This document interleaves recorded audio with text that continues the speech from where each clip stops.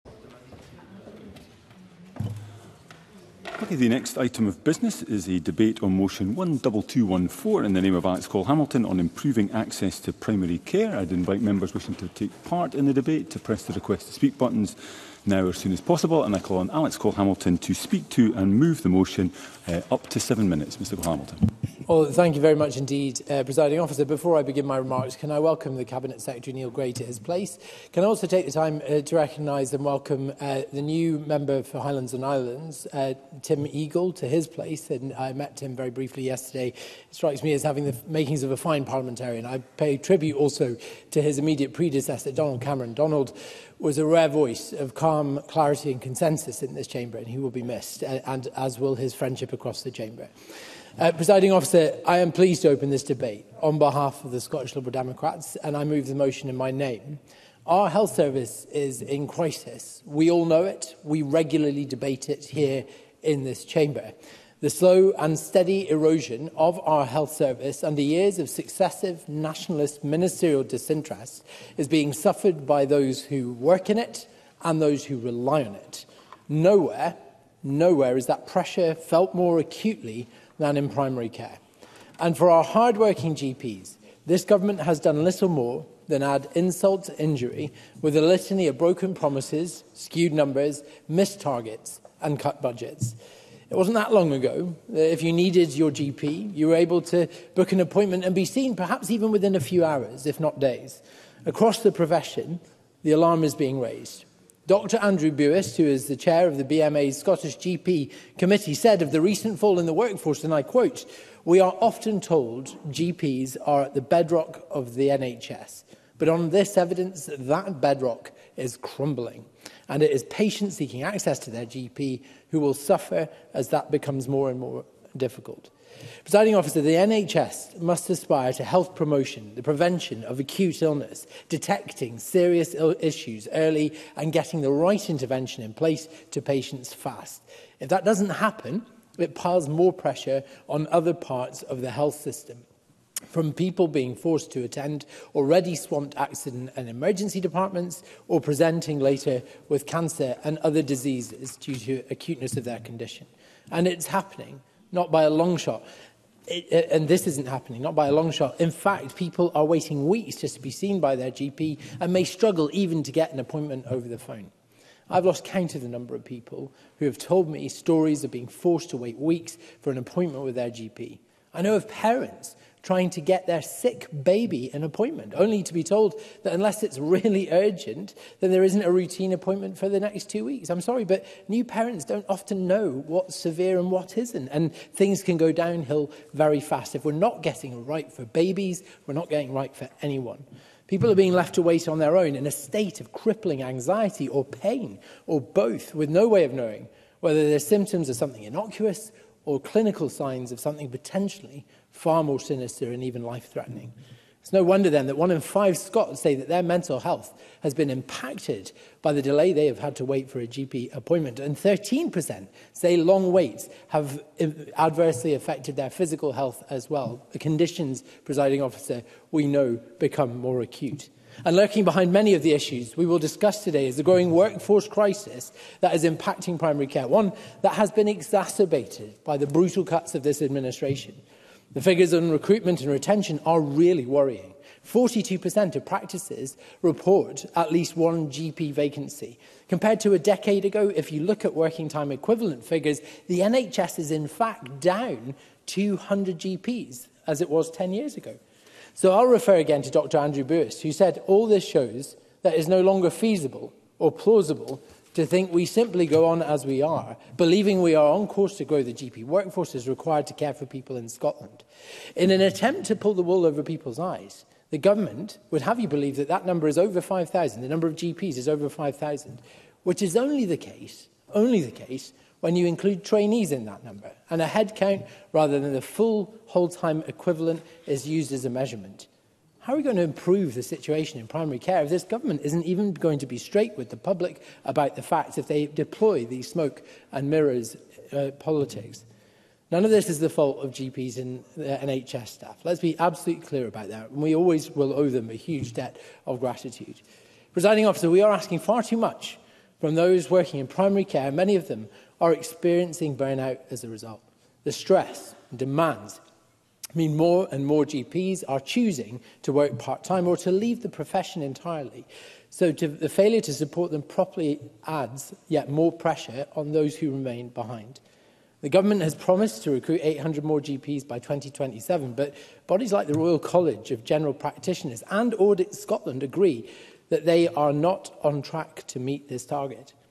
Part of the answer, of course, is to train, recruit and draw on the wider skills that exist in other disciplines like mental health, physiotherapy, pharmacy and more. Presiding officer, GPs are the first point of contact for many people as they enter the NHS but particularly at times of mental ill health. It's why my party worked so hard to persuade this government of the importance of putting mental health care practitioners, talking therapists in every corner, in every practice in Scotland, but progress has been far too slow.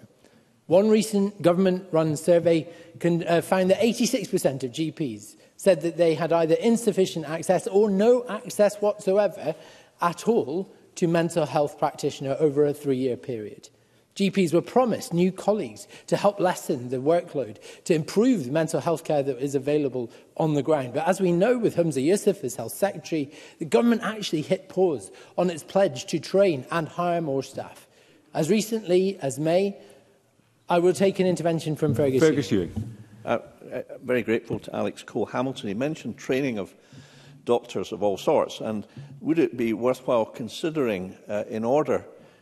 to prevent the drift of newly qualified doctors to Australia, Canada, the USA, after £250,000 on average has been invested by the state in their training, would it not be worthwhile to introduce a bond system so that if people do choose just after the state has paid for an expensive education to work in other countries, that they're required over time to pay back a proportion at least or all of the costs of training, which Alex benefits Hamilton, another country. To start concluding. I, I'm very grateful to Fergus Ewing for the intervention. And the situation is in such a state of extremis that I think we should explore all options and I would be open to further discussions on that point. Uh, to conclude, presiding officer, uh, we need to open new, uh, be open to new and innovative ideas like the one we've just heard, but also look at plans for the recruitment and crucially the retention of staff. Stop experienced doctors from burning out or being pushed out of the profession they love. Incentivise more people, train and work in the NHS once once they qualify. The out, um, it's time to rewrite the NHS failed recovery plan, get recruitment and retention of GPs and local practice staff back on track, and get past the culture of endlessly making plans for more plans. Primary care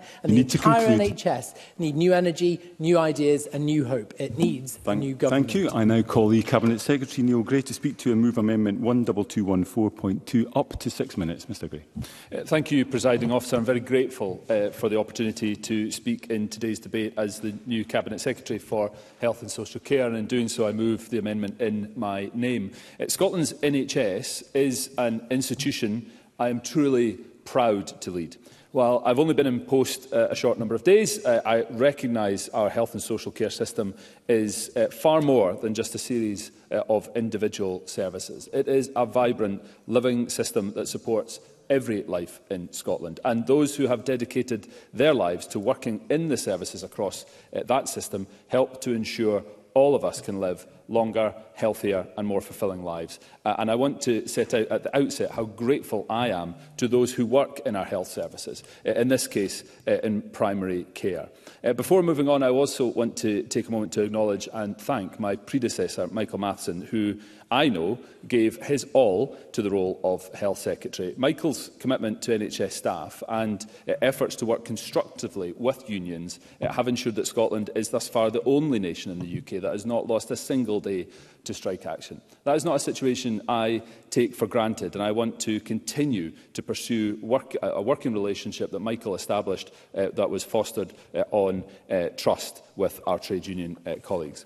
Uh, President Officer, our Health and Social Care Service is going through its most challenging period in history. The collective impact of the pandemic, Brexit and the cost of living crisis are some of the biggest systemic shocks this country and the NHS has faced. All of this is against a backdrop of 14 years of UK government austerity that has left our public services with very little resilience. I am clear that, in order to move forward and recover from these collective challenges, we need to see reform and innovation right across the health service. I will set out my vision for that reform in the coming weeks. But key to that vision will be listening to the voices of people who use, work in uh, health and social care.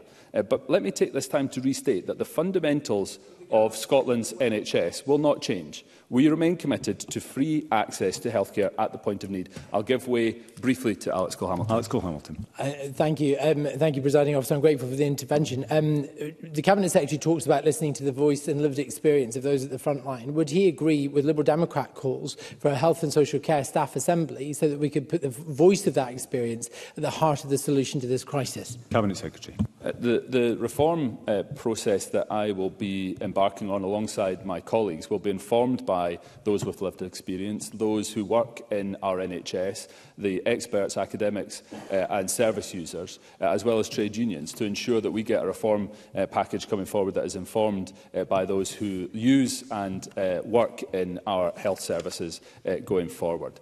Um, I, I genuinely welcome uh, this debate and would like to thank uh, Alex Cole-Hamilton uh, for bringing it to the Chamber. Uh, I saw firsthand this morning in Burraloch uh, practice in Edinburgh how primary care services involving a wide range of skilled professionals, it can have a huge impact on health outcomes and are greatly valued by the communities they serve. I'm proud of the record investment in primary and community care services, over £2.1 billion uh, in the draft December budget. This represents uh, our continued uh, commitment to ensuring primary care services are better focused on people, meeting their needs in a joined-up way. General practice it must be at the heart of our healthcare system. It is unparalleled in managing such a wide range of care needs in the community from long-term condition management through to urgent unplanned care, uh, with over 1.5 million GP encounters a month uh, and over 1 million for other clinicians in practice. Uh, there are, of course, demand issues, but we are dedicated to ensuring the sustainability of the GP and wider multidisciplinary team workforce.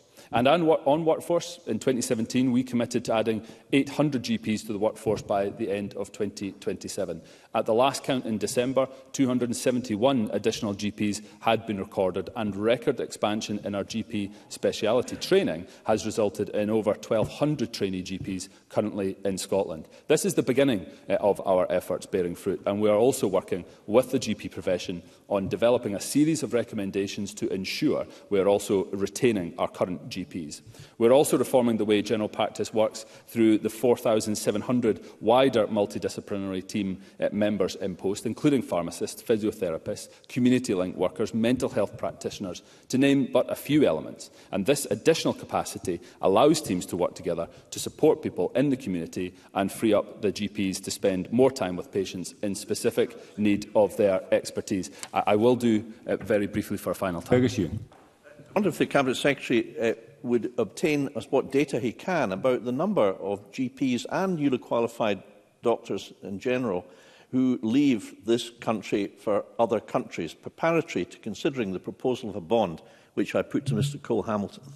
Cabinet Secretary. Uh, yes, I'd be happy to take that consideration forward. I think the retention of uh, those that go through training uh, in Scotland is uh, critically important, as is the continued attraction of people working in our NHS from other countries uh, as well.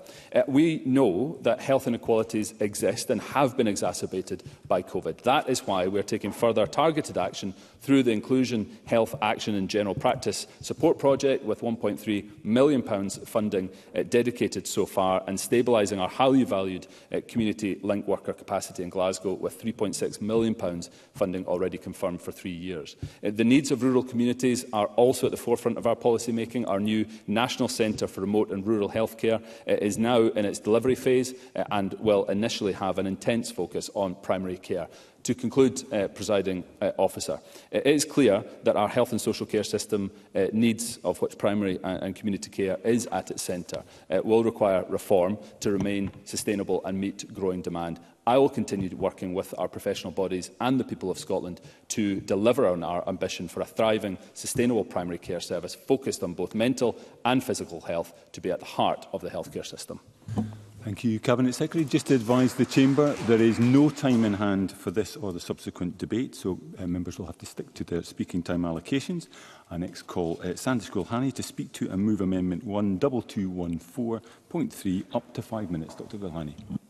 I wish to refer members to my register of interest as a practicing NHS GP, living the pressures we are debating here right now. And I'd like to start by welcoming the new Cabinet Secretary to his role uh, and also to my new colleague, uh, Tim Eagle giving his maiden speech today. Successive SNP governments have watched, as if caught in the headlights, as general practice struggles under sustained pressure on multiple fronts. The SNP, now supported by the Scottish Greens, are responsible for failing to develop and implement credible medium to long-term strategic plans. The last attempt, three health secretaries ago, flopped before the ink was dry whom's the use of so-called NHS recovery plan could well go down as one of the most underwhelming and poorly thought through pamphlets in NHS history. But right now, it's important we truly understand the issues that need to be tackled. And we owe it to our amazing frontline staff in primary care to come up with real workable solutions. So allow me to first run through some stats.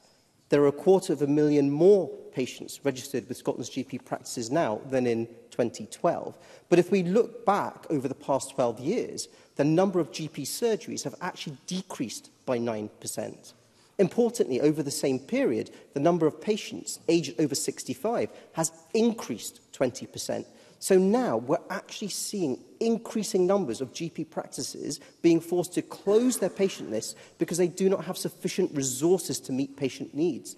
The Royal College of General Practitioners Scotland say GPs face such unmanageable workloads that over half of members cite poor morale or declining mental well-being.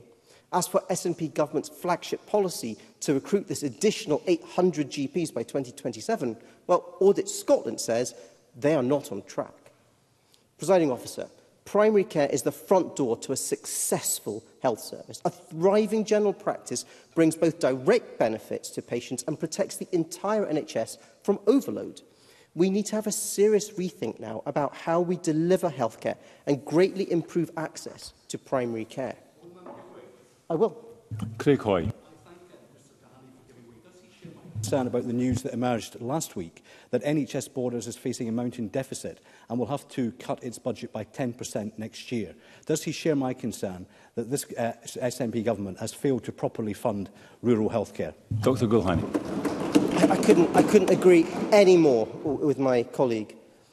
Over the past two years, I've had candid discussions with patient groups, clinicians, health economists, academics, technologists, third sector organisations and NHS executives with the goal to develop a vision for our NHS that we can bring to a national conversation. It's clear that Scotland needs an NHS that is modern, efficient, local, accessible to all. To achieve this, our country will need to truly embrace innovation and change. Plus, in order to maintain universal healthcare as we know it, we need to reduce strain from our health service and its staff And this will require all of us taking greater responsibility for our own health and our NHS to identify issues before they become big problems. Cabinet Secretary. Uh, but briefly, please. I, I, uh, I'm grateful to Sanders Gilhani for giving way. What uh, impact and what greater strain does he expect uh, uh, following Tory spending plans, which would see a further half a billion pounds reduced from our health service if we had followed his budgetary advice uh, coming forward? Dr Gilhani. Well, perhaps the Cabinet Secretary should reflect upon the fact if he had passed on all health consequentials since they took power, we would have £17 billion pounds more to spend in our health service. So shame on you for your pet projects. A modern NHS would embrace innovation and introduce the latest medical e equipment. In rural and remote areas, this would include mobile screening services, and we would take diagnostics to the community, such as lung screening, instead of expecting patients to travel long distances. We need to provide credible backing for community pharmacists, optometrists, audiology services, physio, link workers, to have expertise within the community. And to achieve this, we need to reprioritise resources. In plain speak, we need to fund the necessary changes and ensure we reduce inefficiencies. Sound healthcare economics is vital. Scotland's NHS must be geared to deliver at the local level to get a stronger primary care. And it's really important that we focus upon the fact that central belt solutions for primary care won't work for all of Scotland, which is not what the SNP understand.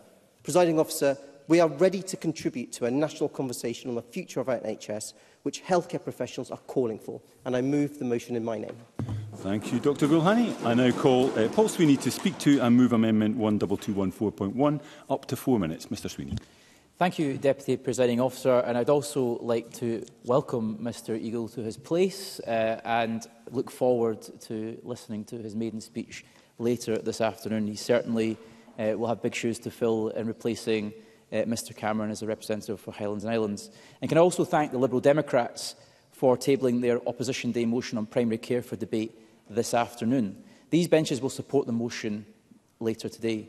Over the course of this Parliament, we have considered the issue of long waiting times on many occasions, and rightly so. One in seven Scots are on an NHS waiting list. The reason we keep coming back to this issue is because it is not going away. In fact, it is getting worse under this current government. If primary care had the support it needed, we would be able to build capacity and give people the timely help they need in their community, reducing pressure on our acute hospitals. Unfortunately, primary care does not have that support. The Scottish Government is not on track to deliver on its commitment to recruit an extra 800 GPs by 2027, and the earlier commitment of 1,000 new community mental health workers has been abandoned. Patients and primary care teams deserve better than constant broken promises made by the Government, and Labour supports this motion's call for the NHS recovery plan to be rewritten. I welcome the references to mental health in this afternoon's motion too. And I'm sure members will agree with me that it is an issue that is raised with us frequently by constituents. And unfortunately, it is clear why. As of September last year, 27% of children and young people referred to CAMS were rejected, an average of 26 children a day. Some patients have been waiting in excess of 1,000 days to start psychological therapies. An NHS 24 mental health hub calls regarding psychotic symptoms increased by 101% between 2021 and 2023. This is an extremely serious demonstration of unmet need, presiding officer. We know that support for mild to moderate mental health issues in the community has a positive impact on outcomes for patients, as well as reducing the demand for onward care. But this is something that the Scottish Government have failed to deliver on. Indeed, the Government's previous commitment to funding mental health and wellbeing services in primary care, before pulling the funding entirely after the Health and Social Care Partnerships had spent almost a year planning for delivery, has been a catastrophic failure. And as this afternoon's motion states, the mental health budget has been frozen and then cut in year for two years running. This kind of incoherence is un unsustainable. These are not the decisions of a government that takes mental health seriously, Deputy Presiding Officer. Labour are clear, primary care teams need to be supported to be afforded the headroom to innovate and establish the services required to meet the needs of their practice population. My amendment to the motion notes that these benches serious concerns that the health professionals are not being meaningfully involved when the Scottish Government is taking decisions on service delivery, patient safety and workforce planning. There is no service delivery, no patient delivery and no workforce without our dedicated NHS staff. These workers and our patients deserve better, which is why our amendment calls for a National Clinical Council on a statutory footing to empower clinical experts and make better a reality for patients and professionals. I move the amendment in my name. Thank you, Mr Sweeney. We now move to the open debate. I call first Beatrice Wishart to be followed by Ivan McKee up to four minutes. Uh, Ms Wishart. Thank you, Presiding Officer. And can I also welcome Neil Gray to his new post and uh, extend a welcome across the Chamber to Tim Eagle. I know what it's like to join a new class halfway through term, so I wish him well. Uh, before I begin, I'd like to pay tribute to all the hard-working NHS staff, those on the front lines, those supporting behind the scenes and everyone who worked through the pandemic. You all deserve our great thanks. This afternoon's debate is a good opportunity to discuss our constituents' experiences of primary care services, and I think everyone recognises the pressures the NHS faced during the COVID-19 pandemic and the challenge of recovery. But years before the pandemic, issues were building in the health service. Recruitment and retention of NHS staff from primary care through all parts of the health service has been an issue for years, And the problems didn't start yesterday, and nor are they the sole consequence of the pandemic. The pandemic did present us with something new, however, long COVID. Constituents of mine have raised the lack of dedicated care for those living with it, and I quote from one parent who said, Our son is very unwell again, and it's utterly devastating to see. The lack of support for children with long COVID and their families in Scotland is a national disgrace. Post-pandemic, staff are feeling overworked and undervalued, and we are seeing GP numbers reduce. Cuts to nursery and midwifery university places in 2011 by the then SNP Health Secretary Nicola Sturgeon are now coming home to roost. My party colleague Alison McInnes asked at that time, and I quote, if we aren't training enough nurses and midwives today, who's going to look after our ageing population in the years to come? In my own constituency, at the end of last week, NHS Shetland were looking for a salaried GP in Unst, another in Lerwick, as well as a psychiatric nurse team leader. The surgery in Hillswick has been advertising a GP post for well over a year. And within the last year, the community of Fettler struggled to fill nurse cover for the island. These adverts are for primary care posts. Overall, NHS Shetland were advertising for 14 posts to fill, ranging from GPs to support services. As islanders, those in the communities mentioned are fully aware of the unique circumstances they find themselves in. Every community, every individual is entitled to health care, and where that cover is missing, it's of greater and disproportionate impact on small communities who have already done everything to extend, supplement and retain existing provision. Like urban areas, Island and rural areas face significant challenges to healthcare provision, challenges like ageing populations, depopulation and geography. And in turn, the reasons behind depopulation and ageing populations are keeping healthcare posts from being filled. Where will the new GP or nurse live when there's a shortage of housing to rent or buy? What attracts a healthcare professional to an island community when ferries don't run and are unreliable in providing lifeline services? And this is just one way where travel concerns significantly impact patients in rural and island areas. Yes, I'll give Fergus, you. I'm most grateful. Beatrice Wishart describes the, the shortages of, of uh, medical personnel in, in Shetland, and I'm sure that's the case in many rural parts of Scotland, certainly the Highlands. Um, a, a bond system could, of course, be combined with the requirement that young medical qualified doctors could be required to work in such remote areas. I believe that system of ensuring that rural provision is met and personnel available is applicable in other countries. Might it be worth emulating it here? Beatrice Wishart, and you need to be concluding. I think all options should be looked at. Uh, travel expenses are paid to patients travelling distances beyond 30 miles by road or 5 miles by sea to get to their hospital or health centre for treatment. The Scottish Government needs to look again at how best we ensure patients are not financially burdened when undergoing treatment the anomaly that residents in Bressa face has still not been addressed Their ferry journey does not qualify, but it's the only means to cross Lerwick Harbour to reach the ageing hospital, which I have long called for to be replaced with a modern facility. Am I running out of time, President? You are indeed, Miss Wishart. In fact, you've run out of time. I've run out of time. We've got plenty more to say, but I'll conclude there.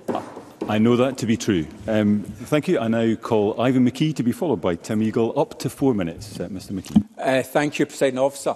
I'm delighted to speak in this debate and first of all just want to uh, pay tribute to the, the staff that work in our NHS and social care services and the tremendous shift they put in day in, day out. Um, and it's important, of course, to recognise the challenges that, uh, that we all know that the service faces uh, with uh, waiting lists where they are, uh, and particularly challenges around GP appointments. Um, and also to recognise the, the fact that COVID has had a significant impact on that, um, and this is something that's common right across the, the UK and beyond, and of course also the longer term trends in demographics and health inflation that are pressing down on the service. But it's also hugely important to recognise, as the Cabinet Secretary has done, the Scottish Government's commitment to the principles of the NHS free access at the point of need in Scotland, unlike elsewhere in the rest of the UK. Um, the importance of primary care as the gateway to that service is absolutely critical, the most cost-effective way um, of providing that preventative service up front that helps the whole health and social care system operate more effectively. So, of course, we should not uh, understress its importance to the whole, the whole system. Um, it's important also, though, to recognise the Scottish uh, Government and the NHS and Scotland's performance in this regard, with uh, GP numbers in Scotland the highest in the UK, 81 per 100,000 population compared to 62 in uh, Tory run England and 65 in Labour run Wales, and also to recognise the steps that the Scottish Government is taking to address uh, the challenges that we undoubtedly do face with regards to uh, GP provision, with GP training places now at 1,200 and increasing 35 more this year and an additional 35 next year. Uh, the multidiscipline teams, uh, 4,700 in place, as the Cabinet Secretary has identified, absolutely critical to providing that more efficient and effective service at a local level. The Community Links Worker programme, I'm delighted that his predecessor continued that programme, and I'm sure he will do as well. And I see that uh, very much week in, week out in my own constituency of Glasgow Proven and the uh, GP practices that are supported by community links workers. And of course, GP numbers was up by 270 since 2017. Uh, so clearly more work to be done there, but much going in the right direction. And also want to take the opportunity to mention in the rural context uh, the importance of uh, uh particular challenges faced by rural and island communities.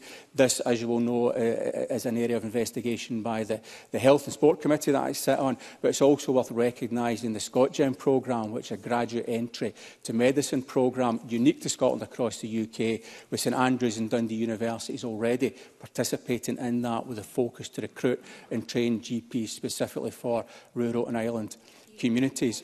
Um, I very much welcome uh, the Cabinet Secretary's comments on bringing forward plans for reform and innovation across the service uh, and uh, hopefully that happens sooner rather than later. Uh, there's much to go at there but I believe certainly much opportunity and scope for innovation both in technology and in process innovation to deliver service improvements particularly if it's rolled out, uh, best practice is rolled out at scale across all 14 territorial health boards and right across, uh, right across the service. this.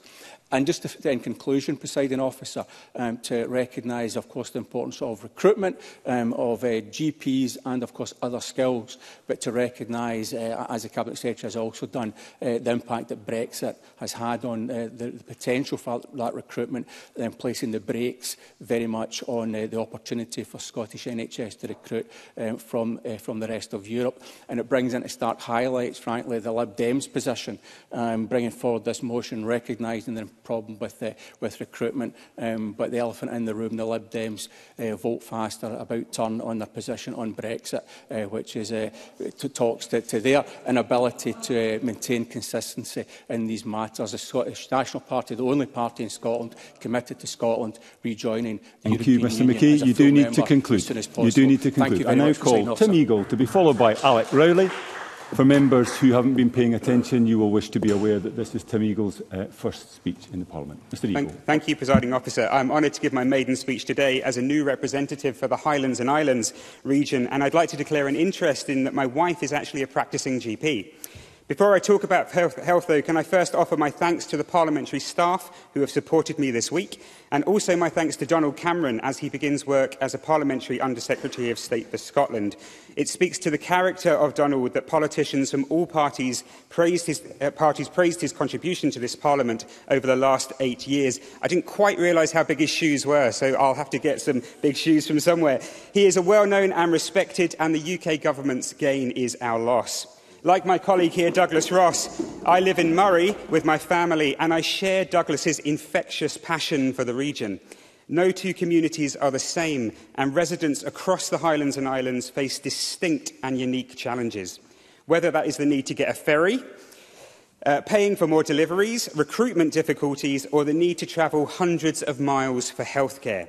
Indeed, the news on Monday that there will be a significant delay to the, uh, to the delivery of an MRI scanner and a refurbishment of the mental health ward at Dr. Gray's Hospital in Elgin is yet another serious blow for Murray and its wider communities. Mm-hmm. But while these challenges are many and varied, our region and its people have very much to offer. As I mentioned earlier, my wife is a practicing GP, so I know and live with the daily challenges that those on the front line deliver in primary care. But it's not just the GPs, the advanced practitioners, the physios, the frontline staff at the desk, the administrators, the practice managers, the pharmacists, and more. People in these professions and many other professions don't just switch off at the end of the day. Their job is a part of their lives, and they do an amazing job despite the difficulties they face. There are many great things this Parliament can and will do, but it is a fundamental essential that we get the most basic needs of the Scottish people right and access to healthcare care that delivers quality, timely care to patients from staff who are valued is one of them. GPs are the beating heart of primary services, yet Public Health Scotland's website today shows a drop of 40 GPs in the last year alone. So SNP's promise to deliver 800 more GPs by 2027 is frankly looking increasingly hollow. It leaves me asking big questions. Where are they getting these GPs from, and are they truly listening to patients and GPs at present? To add to this pressure, the numbers of registered patients is increasing reform is clearly needed to deliver modern, efficient and local health services and in the case of my constituents, it is vital that the trend of rural depopulation is tackled. Presiding officer, although I enter Parliament at the later stage of this session, I bring with me many lessons learned from serving the community of Bucky during my time on Murray Council – It is a community I am deeply proud to be a part of, and it is one with immense spirit, so prominently displayed when a large part of the town travelled to Glasgow to support Bucky Thistle against Celtic in the Scottish Cup recently. As a councillor, I firmly believed I was only truly capable of serving my community if I listened to those who I served, because ultimately it is their lives that are made better or worse by the decisions that we take here. And while I will challenge this government when it is necessary, I want to work with all politicians because that is what our constituents expect of us. I look forward to delivering for the Highlands and Islands, but I end with perhaps one of the most urgent requests to this government. That primary care is calling out to you from the shadows. It needs more help from this government to bring it back into the light in which it can shine.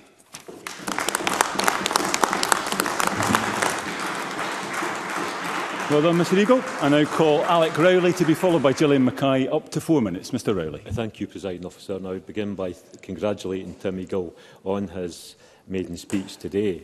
I would also uh, welcome the statement by the Cabinet Secretary where he says that he will be listening to the voices of health users and those in the workforce. I do hope that also means those on the front line of our health services because when I spend time speaking to workers on the front line of health and social care, they often feel like nobody listens to them, whether that's those further up the tree within the management sectors, off the NHS and, and the, the IGBs, or indeed politicians. So we should start. Alex Cole Hamilton talked about NHS and health and social care being in crisis. Then those who are on the front line, they face that crisis every day. And so I think it's right that we should unite in this Parliament to thank those who are delivering health services and social care services because they are under such immense pressure. But if you speak to anyone who uses those services, and certainly my own experience, they are full of praise for the dedication, the commitment and the care that they take in delivering their jobs every day, despite sometimes the real difficulties upon which they work. The value of social care work, I think, is a key issue. I have raised in this Parliament over, over a number of years now, what, what value do we put on social care? And I would suggest to you that the poor pay of social care workers does not match what's needed in terms of the job that they actually deliver. And if you then look at those in social care who are delivering in the private sector, it is the poor pay, which is even poorer, and it is the poor terms and conditions upon which they have. And it really, I have to say, baffles me that we've not addressed that. We've spent millions coming up with, with these new social care services that, that we talk about, and I think there's a bill coming forward in a number of weeks. But why have we not addressed what for me is the core issue? If you don't treat care workers with the respect, if you don't value the service that they are delivering and do that by decent terms, decent pay, decent conditions, then it's no surprise that people are not only being recruited into those services, people are leaving those services. So I would make that appeal. In, ter in, terms, of workforce, in terms of workforce planning, Can I also say, I raised, I think, a month or two ago with NHS 5 about the concern that constituents have raised with me that many GPs are at the point where they're due to retire. And there's real worry in many communities about what's going to happen when these GPs go. Now, the Chief Executive of NHS 5 told me that they don't hold any data or any information and have not carried out any surveys uh, in terms of looking at that workforce that's out there, in terms of GPs across our health centres, uh, because they are private businesses. No other business or public service would run in that way, where they're clueless as to what the requirements are going to be for staff in, in the future. So again, we have to address that issue. And I'll finish in the brief time I've got. I praised this government many years ago when the Christie report came forward and was focusing on prevention. We should not forget that many of those people that are going to the, use the primary care services are doing so because of other poor services. If you're living in damp, wet housing, if you're unable to get the skills and the opportunities to get the job or the education, that will all result in, in poorer health. The statistics show that. So we need to take a holistic approach that recognises those factors. Thank you. Thank you, Mr Rowley. I now call Gillian Mackay to be followed by Keith Brown. Uh, up to four minutes, Ms Mackay. Thank you, Deputy Presiding Officer. I firstly want to start, as others have, by thanking GPs and their primary care teams for their efforts for their patients every single day. The briefing from the Royal College of GPs rightly calls them the front door of the NHS. They are the service in most contact with the public and the best possible position to help us achieve some of the, the public health goals we are rightly proud to have. I welcome the commitment from the Cabinet Secretary to speak to those on the front line as well as patients as to what they want to see from frontline health services. We need to tackle the issues and challenges GP services are facing. The pandemic has paid, played a large part in the frailty, deconditioning and complexity of patients that GPs are dealing with. This is no fault of patients or GPs, but is a reality facing many. These pressures and added complexity simply haven't gone away and will be with us for some time to come. We also have new conditions for GPs to treat, such as long COVID, as well as advances in how we treat other conditions. And I strongly believe we need to ensure that GPs have sufficient time to update their knowledge and deepen understanding of complex conditions that they are having to manage. Data is a huge issue across the sector, and I will once again call for a single patient record. There are particular pressures in particular places. However, I want to touch on some of the interesting work the Health and Social Care Committee has been doing on remote and rural health care. Unsurprisingly, workforce and the ability to recruit people to rural communities is difficult. A range of issues have been highlighted by clinicians to us about the difficulties. Housing came up as a major issue, both the cost but also the availability. Some highlighted the cost of housing is prohibitive in certain places to allowing them to move to a new community in the first place.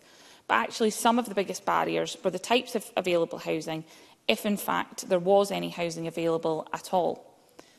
Cost was highlighted as more of an issue for other members of the multidisciplinary team. In many rural villages, GP practices may only have one GP, which comes with challenges in terms of recruitment. Many GPs want to be part of larger teams for support and for collaboration. There are very good wider networks for rural GPs, but on a day-to-day -day basis, some noted that it can be quite isolating. Added to that the issues of an ageing population and the number of older people being a higher overall proportion of the population in some rural areas.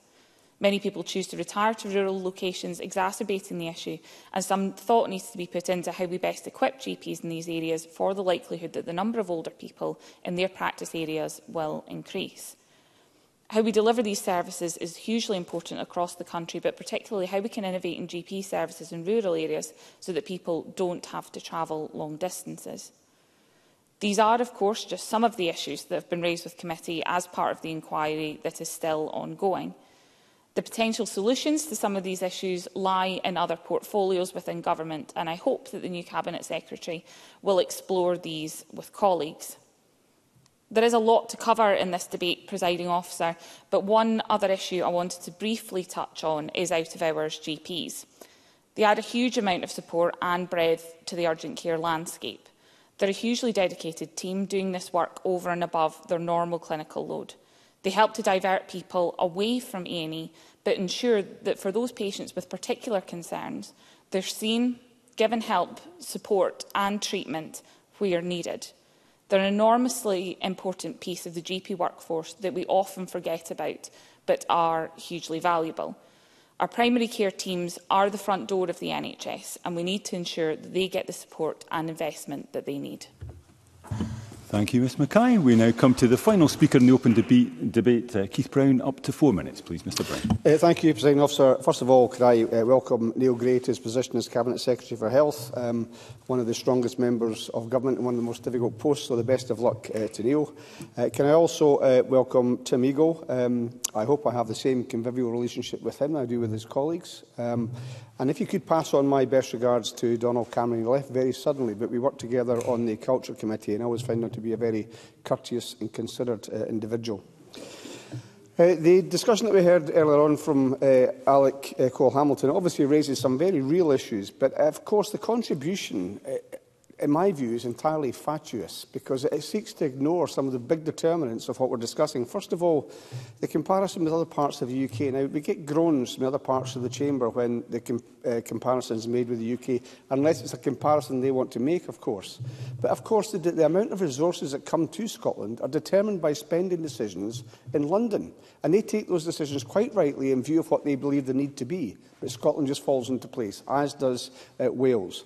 And to try and ignore the extent to which that, including the capital cut to the NHS budget, derives from Westminster means it's not a real debate in that sense.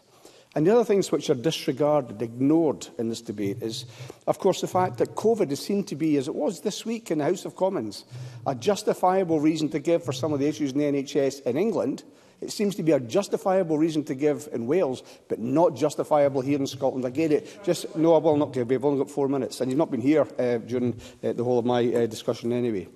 I would also say that the other thing which is unreal is the failure to acknowledge, and particularly for Alec Rowley, uh, the fact that in Scotland we have higher paid NHS staff. We have more NHS staff, as Ivan McKee pointed out at the same time. We've had no strikes in the NHS. So if it's a genuine discussion about the condition of primary care services, presumably be some mention of that fact as well. And the fourth thing, which is not mentioned by other members, was mentioned by Ivan McKee, is of course the impact on the NHS of Brexit and even the more recent announcement further restricting the ability of care workers to come to Scotland no mention is made at all. How real can this, how genuine can this discussion be if these things are completely ignored? And the other thing I would say as well, much of what comes out of the chamber from the other parties is derogatory towards the NHS and its staff, usually dressed up by saying it's the SNP NHS. And I can say from my own experience, whether primary care or otherwise, including cancer care, e-, even in the last couple of weeks, somebody I know um, who has had cancer was seen within three days, had a mammogram, had an ultrasound, saw the consultant twice, and was dealt with in three days. Now, I'm not saying that everyone gets that. I'm not trying to pretend there are not issues. There are not waiting lists, although where there are waiting lists, they are substantially shorter than in many other parts of the UK. And surely the more important discussion we should be having is how the spend on NHS services, including primary care in Scotland, compares with other countries, because that would give us a true comparison. Or what are they doing that's different that we could learn from? Because there's no question that I think the NHS has done an absolutely fantastic job. And the, the experience I just recounted about the last couple of weeks was even better during the midst of COVID. Uh, one instance I'll just quickly recall was a consultant seeing somebody I knew who had to have their gallbladder removed, um, emergency admittance to hospital that afternoon, and said since he was on that night, he would do it that night anyway, the same night as being diagnosed. And seeing how crammed that hospital was at the time, this was Glasgow Royal Infirmary, I think they've done an absolutely fantastic job. I just wish we'd heard more about that, uh, the work that's been done in the NHS. And I just wish we could have a realistic debate where the constraints operate in Scotland, as they do in Wales, as they do in Northern Ireland, because of the way the UK is structured, were at least acknowledged by the other parties. And uh, I will be supporting the motion in the name of uh, Neil Gray, the amendment in the, uh, in the name of Neil Gray when we come to decision time.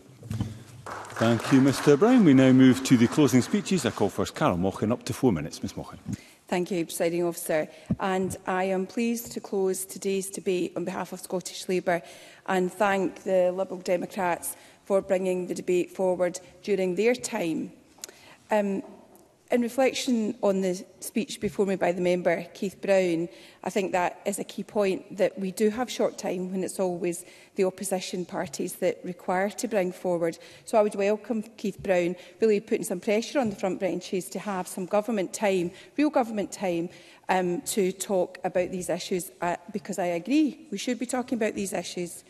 Um, I think members know that I appreciate the concerning impacts of Brexit and the Tory governments that we've had. And I have said this many times in the Chamber, so I don't pu pull away from, from doing that. But I think it is fair for us to come to the Chamber as opposition and see that patients and staff are getting fed up with the SNP, SNP deflecting blame, but probably more deflecting any responsibility that they have on how poorly things are going in the NHS for uh, staff and for patients. And if I'm honest, I think it is a key responsibility of backbenchers to put some pressure on their front benches to try and talk about and take responsibility for things. The direction of travel we find ourselves in regarding access to primary care is undoubtedly the wrong one, and it is piling pressure on parts of the health service that could do without it, as was mentioned by the mover of the motion, Alex Cole -Ham Hamilton. And let's be clear, it is honest to say that targets to deliver 800 new GPs uh, eh, is not being met. And it was, uh, the evidence was brought forward by Sandesh Galhani in his uh, opening speech. Waiting lists are dangerous, dangerously high, with many waiting in pain. Um, and in, within primary care, sometimes you can't even get to speak to a GP. It is fair for the opposition parties to be bringing this to the chamber. And mental health appointments are still extremely hard to come, for, come by for both children and adolescents in particular. My colleague Paul Sweeney outlined that more or less the, the, the promise on this has been abandoned. So we must bring these points to the Chamber. Of course. Keith Brown. Thank uh, Carol Walken for uh, allowing the intervention. See, I do agree with that. I see nothing wrong at all, of course, in these concerns being brought to the Chamber. That was not my point. I'm just saying if you have a rounded debate, let's acknowledge why some of these things are happening, what the root cause of them. It's just a more rounded debate. I'm not challenging your right to come to the Chamber and raise these issues. Carol Walken. Thank you. I thank the member for the intervention and I think we come at it from different directions. I think I have been fair in my assessment of where we have come to, but that we have to have a government here in Scotland with a massive budget for the NHS, lots of staff to manage and support, and the, the government have to take some responsibility for that. I think the member Beatrice Wishaw put it very well when she says this didn't start yesterday. Um, you know, the, the it, member gave, I think, a fair reflection of what has happened over many years before Brexit, before COVID. Um, So we need to be honest about these things. I can tell my, my time is running out. In my own region, um, I just want to mention, because the Cabinet Secretary mentioned it, about this concept of recruitment and retention. The reality is Um, he spoke about physiotherapists. In my area, we do require physiotherapists, but our inability to recruit onto the original physiotherapy course to gain more physiotherapists far into the future does lie at the door of the, this government. The physiotherapy organisation have been trying to speak to you about how do we recruit and retain more physiotherapists. Presiding officer, Scottish Labour have an amendment and we are supporting the motion tonight and we would hope that people will support our amendment as well.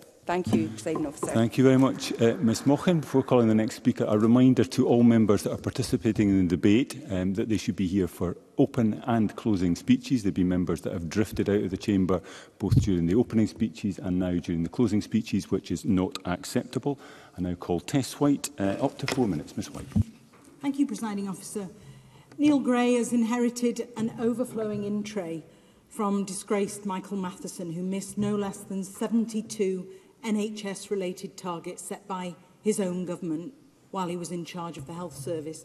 And as we've heard this afternoon, the SNP government looks likely to miss another of its flagship target of recruiting 800 GPs. In fact, the British Medical Association believes that not only is Scotland not on track to meet this commitment, we're going backwards. Presiding officer, this matters because primary care is the backbone of the NHS. The majority of patients contact occurs in primary care. These services are being expected to take the pressure off other parts of the NHS which simply don't have the capacity to treat patients. GP practices are pivotal to the survival of the NHS. But under this SNP government, patient numbers are up and GP numbers are down. Scotland has lost 10% of its GP surgeries between 2012 and 2022. General practice is chronically underfunded and under-resourced, as we've heard today. And rural communities have been hit particularly hard because it's in increasingly difficult to recruit and retain GPs. And the, the GP practices are under an increased pressure for closure.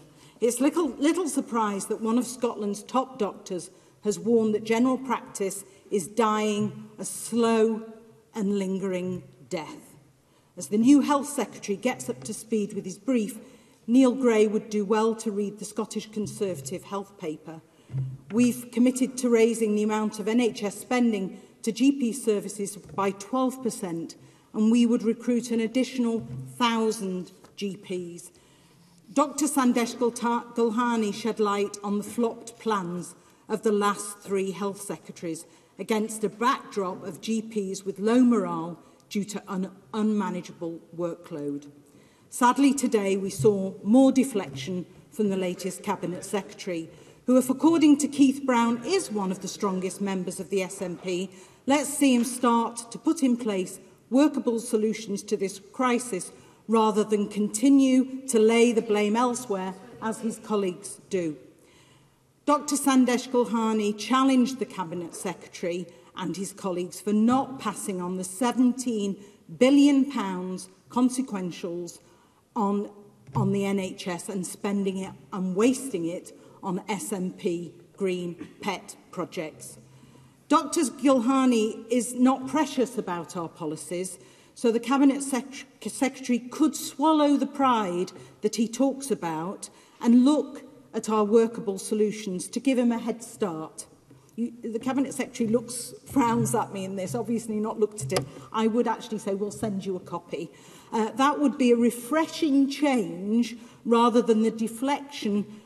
and cracked record and the smoke and mirrors that Alex Cole-Hamilton talked about in his opening uh, speech. Tim, Tim Eagle, in his maiden speech, asked the Cabinet Secretary to listen to those who, who you serve. And, and please do something now. Listen and show you mean what you say to make general practice the heart of the healthcare system. And I quote your words to you. Presiding officer, the Scottish Conservatives do have a clear plan to deliver a modern, efficient and local NHS. The SNP cannot preside over the permanent crisis in our NHS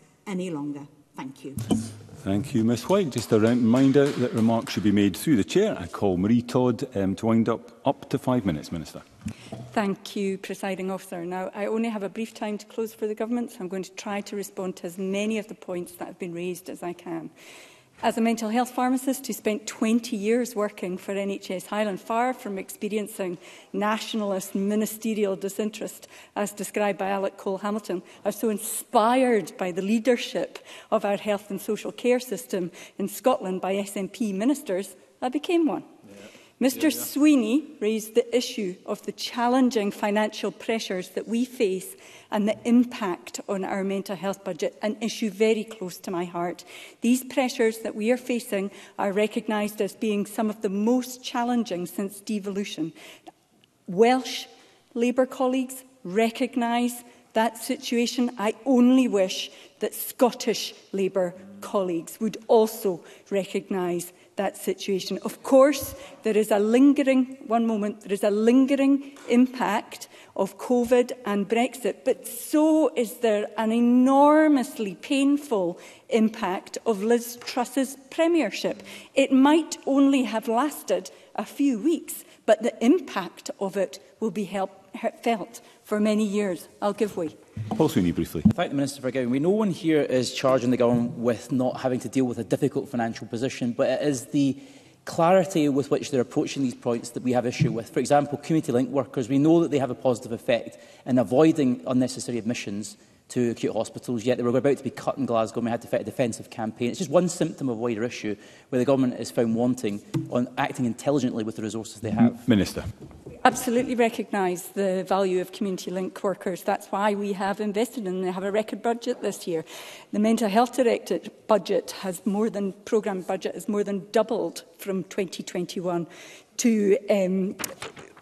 over £260 million. Pounds. And in fact, the investment by our um, NHS boards in mental health has also increased, despite the difficult situation that we face.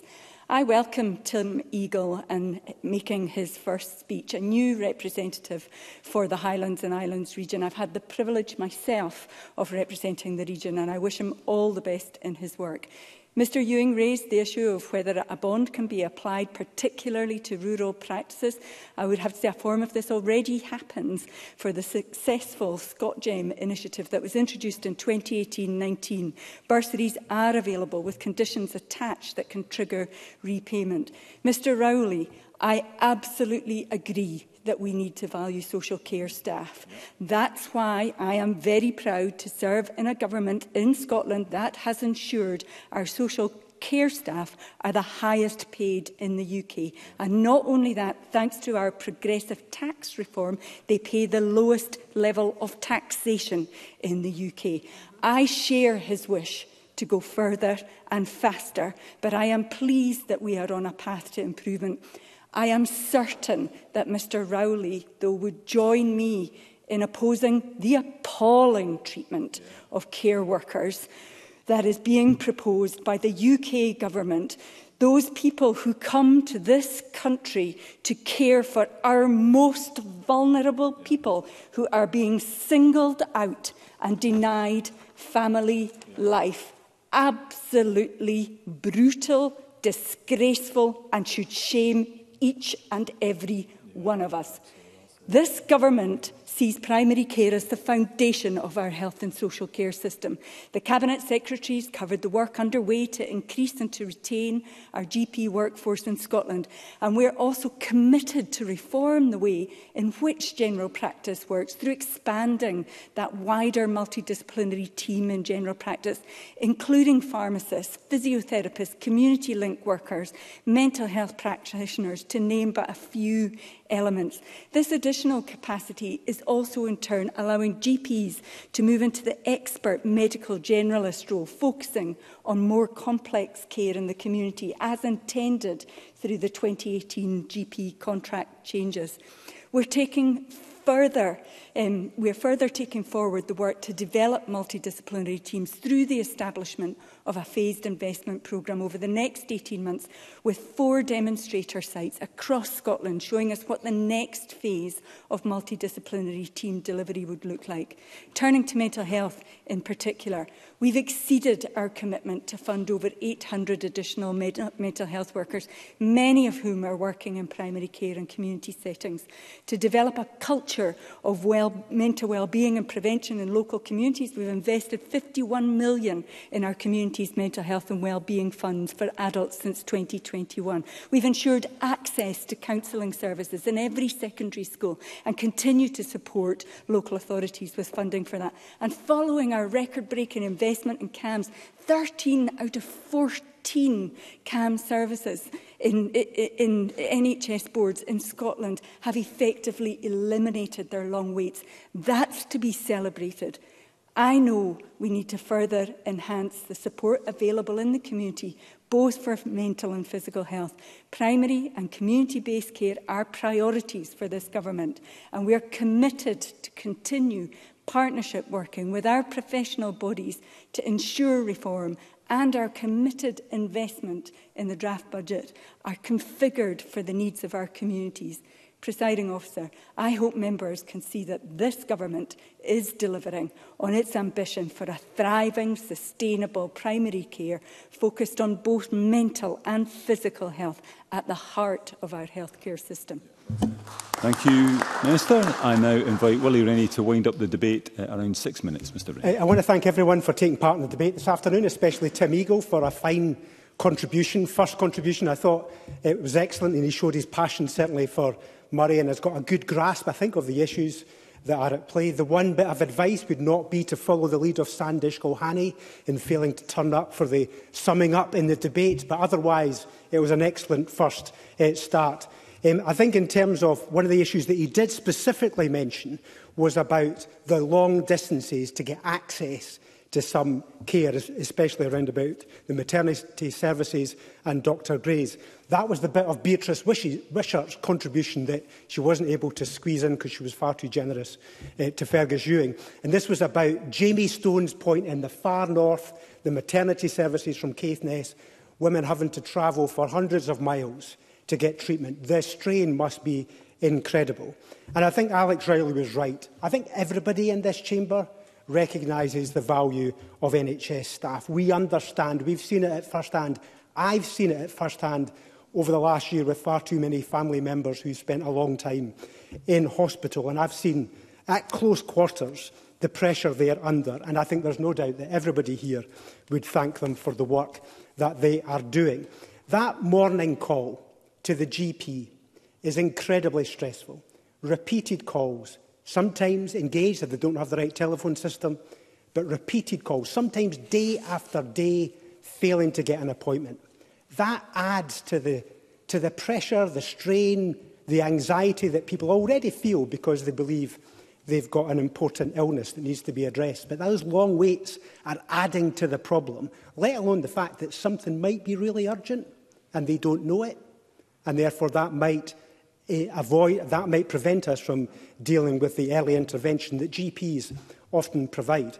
Uh, Ivan McKee was, was bang on when he was talking about GPs being the gateway, the preventative service. The old style family doctor was really important as part of the, the community. Now, I know it's changed, and I'm sure everybody recognises that now the additional health professionals that are part of that multidisciplinary team that the Minister's just talked about. And we should encourage our constituents to try and accept the advice from the receptionist to go to another health professional and not just insist on seeing their GP, because that helps alongside going to your pharmacy that often provides more direct support as well. So Ivan McKee was right on that. Um, I think he was a wee bit wrong blaming the Lib Dems for everything to do with primary care, but I'll, I'll accept he's allowed to make some political points uh, within this. But the Cabinet Secretary did acknowledge some of the issues, and, and I accept the issues around about Brexit, We were opposed to that, still opposed to it. The pandemic, we know that's added to the, to the pressure. We know the budgetary pressures that have applied too. But there was a bit too much, I have to say, of blaming everybody else and not accepting the responsibility for the inordinate pressures that are faced by primary care. Yes, I'll take an intervention. Cabinet Secretary.